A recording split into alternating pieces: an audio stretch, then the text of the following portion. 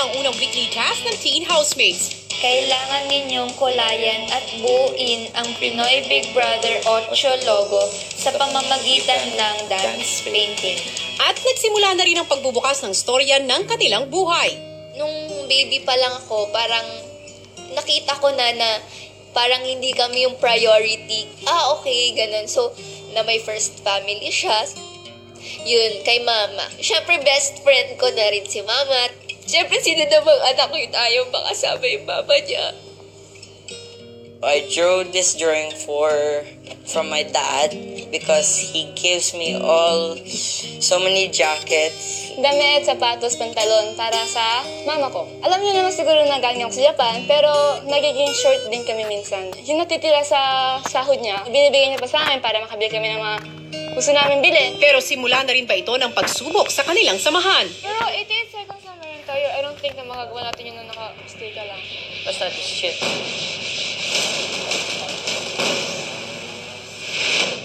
Dahil sa nakita kong pag-ensayo ni Lee at Aljon, hindi ako masaya.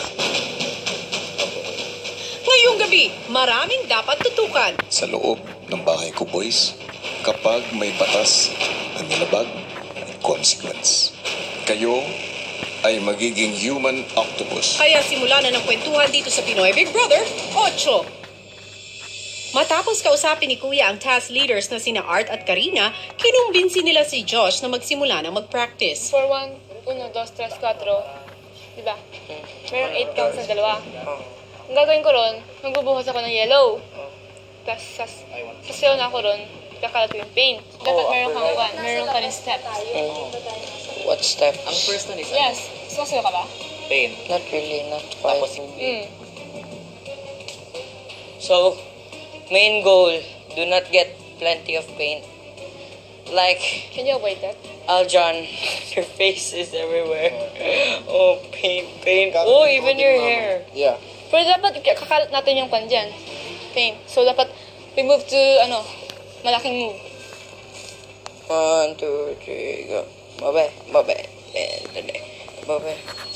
Dapat we have to spread like, Yeah. spread around ba? I'm pretty sure art is gonna win 100% because you're gymnast. Am I right? Try nyo lang kung makakaya nyo ah. Just have the fun. Tori wants to win the prize as much as everyone else. I don't do. Habang tila wala pa rin gana si Josh mag-practice, sina Seth at Karina nagsimula na sa rehearsal gamit ang canvas at pintura. Iba po pala yung pakiramdam habang sumasayaw tapos nagpipaint ka po kuya.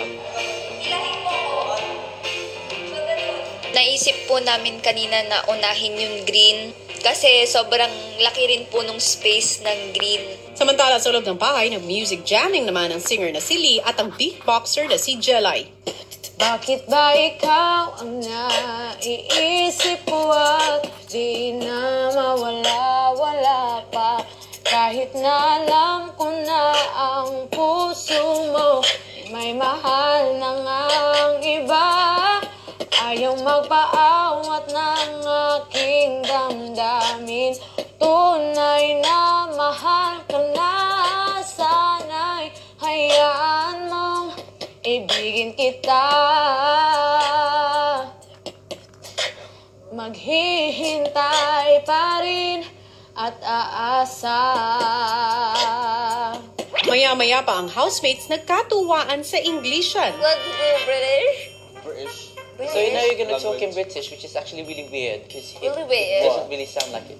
His dad, his dad is actually British, but British has, has a lot of branches. Some have a glottal T, some doesn't have a glottal T. Like some people say Harry Potter, some people say Harry Potter.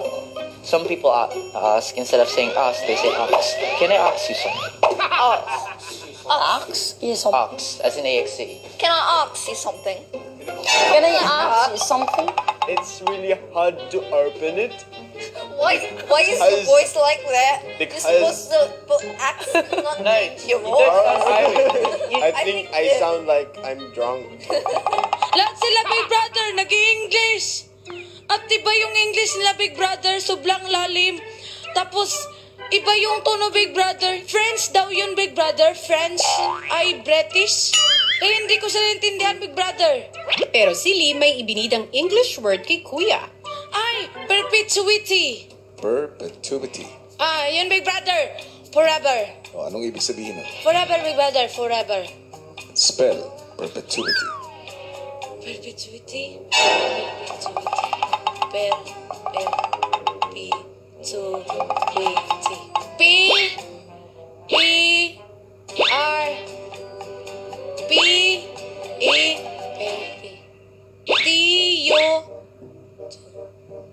W, E, T, T, Y.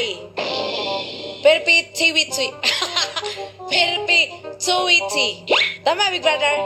Bali. Ha? Bakit, Big Brother? Ano tama yung spelling, Big Brother? Tamang spelling ng perpetuity ay B. P. E. Oh, tama naman. R. O. P. P. E. T. T. U. Yo. I. T. Y. Perpetuity. Ay, pero...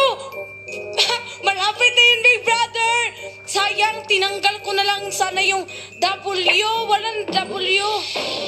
Kaya, Big Brother, ipagmamalaki ko talaga yung perpetuity na spelling, Big Brother. Ilang sandali pa dumating na ang oras para kina Kauri at Josh naman ang mag-rehearse gamit ang paint at canvas.